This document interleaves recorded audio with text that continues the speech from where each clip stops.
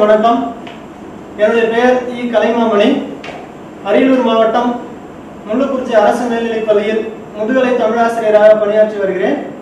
இப்போ நம்ம பார்க்கக்கூடிய பாடப்பகுதி என்னன்னு பார்த்தீங்கன்னா மேல்நிலை இரண்டாம் ஆண்டு பொது தமிழில் இடம்பெற்றுள்ள இயல் ஒன்று தண்ணீர் இல்லாத தமிழ். அந்த ஒரு தலைப்புல இடம்பெற்றிருக்கக்கூடிய பாடலையும் அதுல உள்ள பொருளையும் தான் நாம பார்க்க போறோம். இப்ப நம்முடைய அந்த மேல்நிலை இரண்டாம் வகுப்பு பொது தமிழ்ல எட்டு பொருண்மை இருக்கு. அந்த எட்டு பொருண்மையில முதல் பொருண்மை முதல் இயல்ல இருக்கு. அந்த பொருண்மையோட பெயர் என்னன்னு பார்த்தோம்னா உயிரினம் ஓம்பப்படும். ஆமா உண்மையா நம்ம எல்லாருமே இந்த ஒரு வரியை நம்ம கேள்விப்பட்டிருப்போம். இதை கேள்விப்படாத நபரே இல்லை. உயிரினம் ஓம்பப்படும். எல்லாருமே தெரியும் நினைக்கிறேன். திருவள்ளுவர் சொல்லியிருக்கிறாரு ஒழுக்கம் விழுப்பம் தரலாம் ஒழுக்கம் உயிரினம் ஓம்பப்படும் அப்படின்னு சொல்லியிருக்கிறாரு. நம்ம எல்லாருக்குமே தெரியும். அதுல அவர் என்ன சொல்ல வர்றாருன்னு பாத்தீங்கன்னா மனிதனுடைய உயர்விற்கு தேவைப்படக்கூடியது ஒழுக்கம். அதனால அந்த ஒழுக்கத்தை நாம் நம்முடைய உயிரை விட மேம்பட்டதாக கருதி காக்க வேண்டும் அப்படின்னு சொல்லியிருப்பாரு. அது திருக்குறள் காலகட்டத்துல திருவள்ளுவரோட காலகட்டத்துல. அதை அடுத்து பார்த்தோம் அப்படின்னா சங்க காலத்துல பெண்கள் தங்களுடைய கற்பை தங்களோட உயிரை விட மேம்- மேம்பட்டதாக கருதினர் அப்படிங்கறது நம்ம சங்க காலத்துல படிச்சோம்.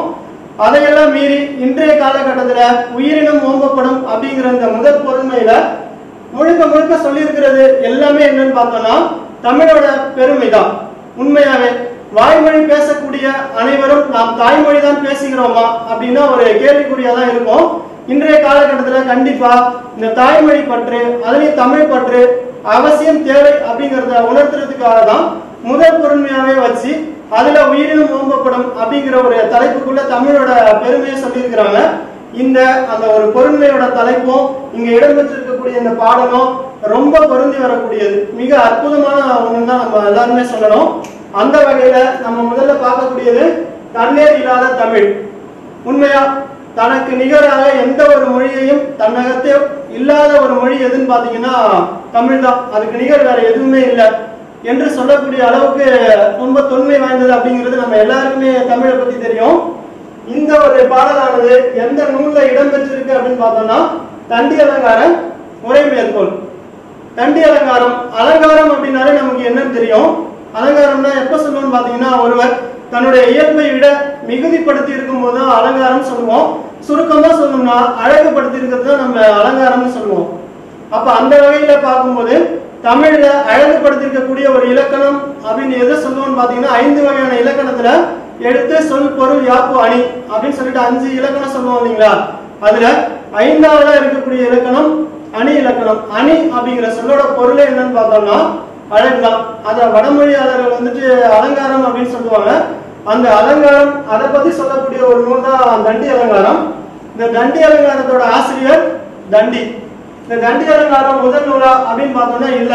அதோட முதல் நூல் எதுன்னு பாத்தீங்கன்னா காவிய தர்சம். அந்த காவிய தர்சம் அப்படிங்கக்கூடிய அந்த வடமொழி நூலை பின்பற்றி தான் தண்டி அலங்காரம் எழுதியிருக்கிறாங்க. அந்த தண்டி அலங்காரத்தோட ஆசிரியர் யாருன்னு சொன்னோம்? தண்டி சரிங்களா? இப்ப நம்ம அடுத்து என்ன பார்க்கணும்னு பார்த்தோம்னா இந்த தண்டியான காலத்துல இடம்பெற்றிருக்கக்கூடிய இந்த ஒரு நான்கு வரி பாடலா இருந்தாலும் ரொம்ப முக்கியமான பாடல் இது. மதிப்பெண் அப்படின்னு சொல்லிட்டு பாக்குறப்ப அதிக மதிப்பெண் இருக்கக்கூடிய ஒரு பாடல்னு சொல்லலாம். ஏன்னு பார்த்தோம்னா மனப்பாட பகுதி அப்படின்னு சொல்லி பாக்குறப்ப ஆறு மதிப்பெண் உண்டு அந்த மனப்பாட பகுதிக்கு. அந்த ஆறு மதிப்பெண்ல இரண்டு மதிப்பெண்ங்கிறது திருக்குறளோட ஒதுங்கிடும். மீதமுள்ள நான்கு மதிப்பெண்ங்கிறது அதிகபட்சமா இது போன்ற அந்த நான்கு வரி பாடலோட கேட்கறதுக்கான வாய்ப்பு ரொம்ப ரொம்ப அதிகம். அதுல முதன் முதல்ல இடம்பெற்றிருக்கக்கூடிய நான்கு வரி பாடல் மனப்பாட பாடல் அப்படின்னு சொல்லிட்டு பார்த்தோம்னா இந்த தண்டி அலங்கார உரைமேற்கோள் தான் ஆகையால கண்டிப்பா எல்லா மாணவருமே இதை நம்ம தெளிவா படிச்சு வச்சிருக்கணும். சரிங்களா? அப்ப இந்த தண்டி அலங்காரத்தை எழுதின தண்டி அவரை பத்தி கொஞ்சம் நம்ம பார்க்கணும்னு பாத்தீங்கன்னா அவர் வந்து என்ன சொல்லுவான்னு பாத்தீங்கன்னா அம்பிகாபதியோட பையன் அப்படின்னு சொல்லிட்டு அந்த சிறப்பு பயணத்துல சொல்லியிருப்பாங்க. அம்பிகாபதியின் மேவரு தவத்தில் பயந்த ஆஹ் தண்டி என்போனே அப்படின்னு சொல்லிட்டு சொல்லுவாங்க. அதுல சொல்றப்ப அப்ப நம்ம அந்த காலகட்டத்தை வச்சு பார்த்தோம்னா அவர் எப்படி சொல்லணும்னா கம்பரோட பேரன்னு சொல்லணும். ஏன்னா கம்பரோட பையன் தான் அம்பிகாபதி. அம்பிகாபதியோட பையன் அப்படின்னு சொல்லிட்டு அந்த உரை மேற்கொள்ள சிறப்பு பயணத்துல சொல்லியிருப்பாங்க. இருந்தாலும் அந்த தண்டி அலங்காரத்தை எழுதின தண்டியை பத்தி முழுமையான தகவல் நமக்கு கிடைச்சதா அப்படின்னா இல்லை. அவரோட காலம் அப்படின்னு சொல்லி பாக்குறப்ப கிபி பனிரெண்டாம் நூற்றாண்டு ஜெயங்கொண்டார் அவங்களோட சமகால புலவரா இருக்கிறவரு தண்டி. சரிங்களா? அந்த தண்டியில் அவர் என்ன சொல்லியிருக்கிறாருன்னு பாத்தீங்கன்னா சாதாரணமா நம்ம படிக்கிறப்ப நான் எல்லாத்தையுமே சொல்றது அதுதான். இது மனப்பாட பாடல் அப்படிங்கிறப்ப நீங்க வலுக்கட்டாயமா படிக்கணுங்கிறது இல்லை. எதிர்த்த மாதிரி வச்சுக்கிட்டு கொஞ்ச நேரம் முறைச்சு முறைச்சு பார்த்தனால நமக்கு சாதாரணமாவே நம்மளுடைய மனசுல ஆழ் மனசுல பதிஞ்சிடும் அப்ப இந்த பாடலை நம்ம கண்டிப்பா ஒரு தடவைக்கு பல தடவை நம்ம கொஞ்சம் உற்று நோக்கணும் எப்பவுமே நம்ம சாதாரணமா ஒரு நண்பனை பாக்குறப்போ அவங்ககிட்ட குறை பார்க்க மாட்டோம். பிடிக்காதவங்க ஒருத்தனை நம்ம முறைச்சு பார்க்கும்போது அதுல அவங்ககிட்ட உள்ள எல்லாமே நம்மகிட்ட வந்து பதிஞ்சிரும். அது போல இந்த ஒரு பாடலை நம்ம ரொம்ப நேரம் உற்று நோக்கணும் அப்படின்னா கண்டிப்பா இது நமக்கு மனசுல பதிஞ்சிரும். இதுல நம்ம எல்லாம் என்ன சொல்ல வர்றாருன்னு பார்த்தோம்னா முதல்ல பாடல் வரியை மட்டும் படிச்சு பாருங்க. ஓங்களிடை வந்து உயர்ந்தோர் தொழ விளங்கி ஏழ்கொலை நீர் ஞானத்து இருள் அகற்றும் மின்னேர் தனியாடி வெங்கதிர் வந்து ஏனையது தண்ணீர் இல்லாத தமிழ். முதல்ல நம்ம படிக்கிறப்ப நீங்க எதுவுமே பெருசா தெரிஞ்சுக்கணுங்கிறது இல்ல பாடலை முதல்ல படிச்சு பார்க்கணும். படிச்சு பார்த்தோம்னாலே அதோட பொருள் நமக்கு கண்டிப்பா கிடைக்கும். அதுல எந்தெந்த வார்த்தைக்கு நமக்கு பொருள் தெரியலையோ அந்த வார்த்தையோட பொருளை நம்ம கொஞ்சம் உற்று நோக்கணும்னா அடுத்த கட்டமா நம்மளாவே அந்த செயலுக்கு ஒரு பொருளை கொடுக்க முடியும். இப்ப ரெண்டே ரெண்டு தான் நம்ம தெரிஞ்சுக்கணும். ஓங்கல்ங்கிறது மலை ஏங்கொலிங்கிறது அந்த அலையை உடைய கடல் ஒளியை தரக்கூடிய ஒரு அந்த கடல் அலை. இந்த ரெண்டு பொருளையும் நம்ம வச்சோம் அப்படின்னு பார்த்தோம்னா ஈஸியா அந்த செயலுக்கான பொருளை நம்மளால புரிஞ்சுக்க முடியும். அப்படியே புரிஞ்சு பாருங்களேன். ஓங்கலிடை நம்ம ஏற்கனவே ஓங்கல்னா மலைன்னு சொல்லிட்டோம். இப்ப மலையிடை வந்து புரிஞ்சுச்சுங்களா? அடுத்து உயர்ந்தோர் தொழ விளங்கி அதாவது வந்து உயர்ந்தோம்னா சான்றோர்கள் ஆன்றோர்கள். அவங்க எல்லாருமே தொழக்கூடிய அளவுல சாதாரண மலை பொருள் பார்ப்போம். தொழக்கூடிய அளவுல இருந்து ஏகோலி ஏகோலினா நம்ம ஏற்கனவே சொன்னோம் ஒளி தரக்கூடிய கடல் கடல் அலைகள். அந்த கடல் அலைகள் ஞானம் ஞானம்னா உலகம். இந்த கடல் அலைகள் நிறைந்த இந்த ஞானத்துல இருளை அகற்றும். எதுன்னு இது வரைக்குமே நமக்கு தெரியல. என்ன சொல்லியிருக்கிறாங்க? மலையிடையில பிறக்கும் உயர்ந்தவங்க தொழுற மாதிரி இருக்கும். அடுத்து வந்து பார்த்தோம்னா இந்த ஒளி நிறைந்த ஞானத்துல கடலலை ஒளி நிறைந்த இந்த ஞானத்துல இருளை அகற்றும். இது வரைக்குமே நமக்கு பதில் கிடைக்கவே இல்லை. எதுன்னு தெரியல. இப்பதான் சொல்ல வராங்க ஆங்க அவற்றுள். ஆங்க அவற்றுள் அப்படின்னு சொல்லி பாக்குறப்ப ஒன்றுக்கு மேற்பட்டது இருக்கு அப்படிங்கிறது நம்ம இங்கேயே தெரிஞ்சு போச்சு. ஏன்னா அவற்றுள்னு சொல்றாங்க. அதனால ஏதோ இருக்கு. ஒன்றுக்கு மேற்பட்டது இருக்கு.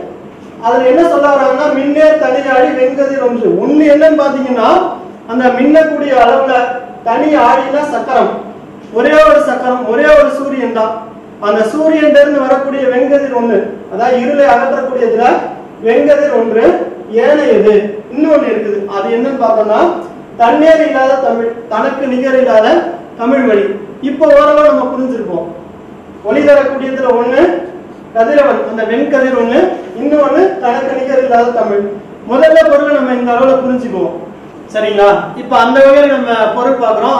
பொருள் பார்க்கறப்ப வந்து பார்த்தோம்னா ஒண்ணு அந்த சூரியனோட கதிரும் ரெண்டு தனக்கு நிகர் இல்லாத தமிழும். இப்படி ரெண்டு வகையில நம்ம பொருள் வச்சுக்கிட்டோம். இப்ப மூன்றாவது முறையா பொருள் பாக்குறப்பதான் ஆழ்ந்து நாம அதோட பொருளை பார்க்கணும். அப்பதான் அதுக்குள்ள என்ன மாதிரியான அணி வந்திருக்குது ஏன் அதை சொல்லியிருக்கிறாங்க எந்த அளவுக்கு தமிழோட சிறப்பு இருக்கு அப்படிங்கிறது உங்களுக்கு புரியும். சரிங்களா? புரியுதுங்களா? சரி பார்க்கலாம். இப்ப அப்படி பாக்குறப்ப நம்ம முன்னாடி பார்த்த மாதிரியே தான் ஓங்கலடை வந்து உயர்ந்தோர் தொழ விளங்கி. நாம இப்ப ரெண்டு பொருளை எடுத்துக்கிட்டோம். இந்த ரெண்டு பொருளை எடுத்துக்கிட்டு இப்ப பொருள் சரியா பார்க்கணும். இப்பதான் நமக்கு விளங்கும். என்னென்ன பார்த்தோம்? ஒண்ணு அந்த சூரியனோட கதிர். ரெண்டு தனக்கு நிகர் இல்லாத தமிழ். மறுபடி மறுபடி நம்ம இத நம்மளோட நினைவுல வச்சுதான் ஆகணும். அப்படி பாக்குறப்ப அந்த சூரியனானது ஓங்கலடை வந்து காலையில் உதிக்கும் போது மலை முகட்டில் உதிக்கும். அது எல்லாருமே நமக்கு தெரியும். அது போலவே தமிழானதும் தனக்கு நிகரான த- நிகர் இல்லாத ஒரு தமிழானதும் எப்படி இருக்கும்னு பாத்தீங்கன்னா நமக்கே தெரியும். தமிழானது பொதிய மலையில அந்த அகத்திய முனிவரிடத்திலிருந்து பிறந்தது அப்படிங்கிறது நம்ம எல்லாருக்குமே தெரியும். அப்ப அந்த ஒரு அந்த அந்த முதல் வரியை மட்டும் வச்சு நம்ம பாக்குறப்ப ஓங்கலடை வந்தது அப்படிங்கிறப்ப முதல்ல வர்றது அந்த மலையில அந்த மலை முகட்டுல பிறக்கக்கூடிய சூரியன். அது ஒண்ணு. ரெண்டு அந்த பொதிய மலையில் பிறந்த தமிழ். புரிஞ்சுச்சுங்களா இது? அடுத்து உயர்ந்தோர் தொழவிலங்கி அதாவது இந்த உரித்து வரக்கூடிய சூரியனை அந்த சூரியனோட ஒளியை உயர்ந்த சான்றோர்கள் ஆன்றோர்கள் கற்றறிந்தோர் அனைவரும் வணங்குவாங்க. ஏன்னா அந்த சூரியன் இல்லை அப்படின்னு பார்த்தோம்னா நமக்கு பயிர் எதுவுமே இருக்காது. பயிரும் இருக்காது உயிரும் இருக்காது இது எல்லாமே நமக்கு தெரிஞ்சதுதான். அது போல அதனால என்ன பண்ணுவாங்க பாத்தீங்கன்னா உயர்ந்தவங்க அந்த சூரியனோட அந்த ஒளியை வணங்குவாங்க. அது போலவே அந்த தமிழையும் கற்றறிந்த அறிஞர்கள் வணங்குவாங்க. ரெண்டு புரிஞ்சுச்சுங்களா ஒண்ணு மலையோட அந்த முகட்டுல பிறந்தது இந்த வெண்கதிரும் சூரியனோட கதிரும். அதை போலவே தமிழும் புதிய மலையில் பிறந்தது. இரண்டாவதா பார்த்தோம் பாத்தீங்கன்னா உயர்ந்த தொழவிலங்கி. உயர்ந்த தொழவிலங்கி அப்படின்னு சொல்லிட்டு பாக்குறப்ப அந்த சான்றோர்களும் ஆன்றோர்களும் சூரியனை தொழுவாங்க. அதை போலவே கற்றறிந்தோர் தமிழையும் தொழுவாங்க. இந்த ரெண்டு புரிஞ்சுச்சிங்களா மூணாவதா பார்க்கணும்